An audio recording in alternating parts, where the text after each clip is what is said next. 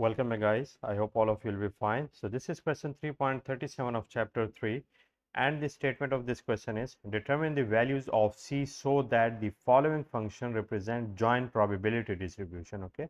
So you have to keep in your mind that joint probability distribution basically takes two variables and that is basically the joint probability distribution of the two variables okay?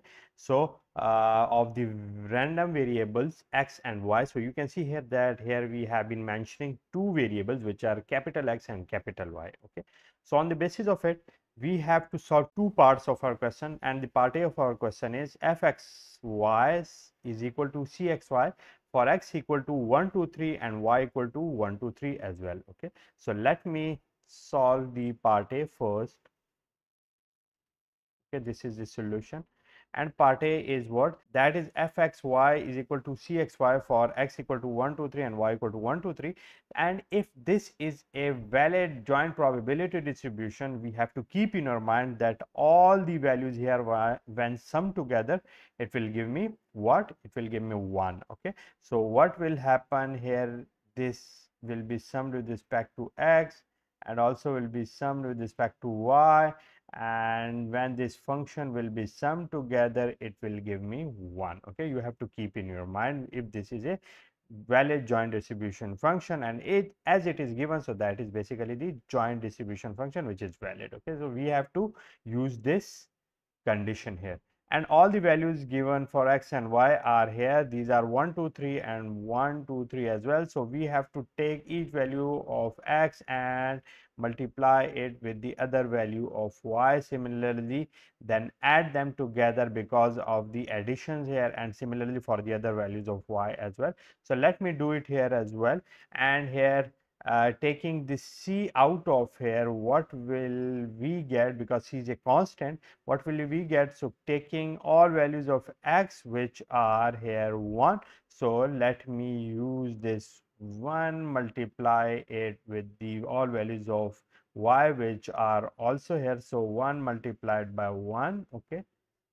Similarly plus 1 multiplied by 2 this is the value of x multiplied by the value of y plus because these are summed together here and also 1 multiplied by 3 this is for the first value which is 1 uh, for x and all the values of y. Similarly, now taking the second value of x which is 2 and multiplying it with all the values of y which are 2 multiplied by 1 and then the second value 2 multiplied by 2 okay and the third that is 2 multiplied by 3 okay? And now the last one here is 3 so taking this 3 multiplied by 1 plus 3 multiplied by 2 plus 3 multiplied by 3 okay?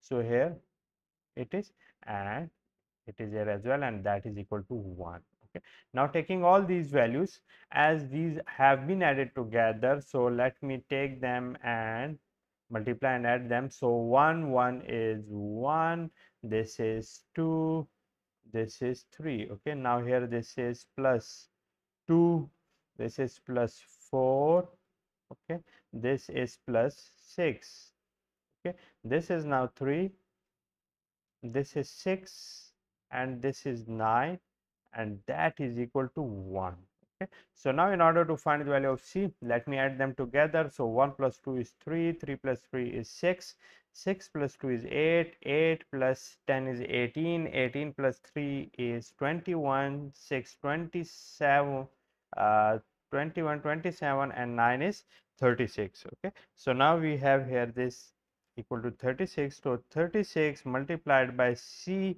equal to 1 and taking this c equal to what? This would be 1 over 36 and that is the value of the c here which we wanted to find out okay? So that is the solution of part a of our question in which we have determined the value of c here okay?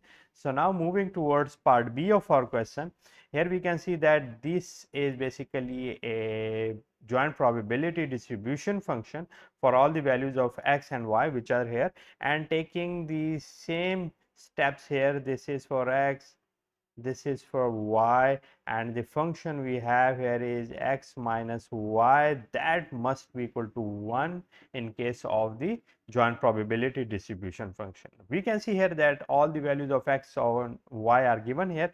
Now taking this first value of x and making it the combination with all the values of y and so on so forth because we have here all these values and then also adding adding them together as well.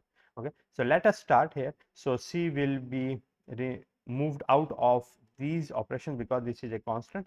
And here if x is 1 so it will be sorry if x is minus 2 so it will be what? Minus 2 and the other one is minus so minus minus 2 will be what? This will be plus 2 okay? So here we will have it plus. The second one is minus 2 and the this one is 3 so minus 2 and here we will have it minus 3 okay? Similarly now we have the second value here of x that is 0 so 0 plus 2 here we will have okay? Because minus minus is plus and also the 0 0 minus 3 okay? Similarly sorry that is also the addition. Similarly the last one here is 2 2 minus minus 2 is 2 plus 2 okay? And also here we will have 2 minus 3 we will have it okay? So these are all the values which are we have and these are equal to 1 let them all together and get the values which we have. So, minus 2 plus 2 is 0 and the absolute value of it is also 0 because this absolute uh, is basically giving me the positive values of all or whatever we have inside of these absolute signs okay so now here minus 2 minus 3 this is uh, minus 5 which is basically 5 okay and this is now 2 okay? This will be plus 3 okay? This will be plus 4 and the last one here is will be plus 1 that is equal to 1 okay? So now then adding them together 5 plus 5 is 10 and this 5 is 15 so 15 multiplied by c that is equal to 1 which will ultimately give me what? The value of c will be equal to 1 over 15 okay.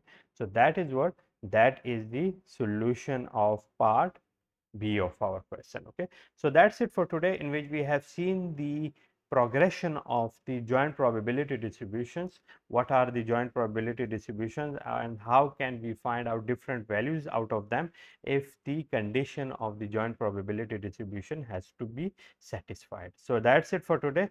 See you soon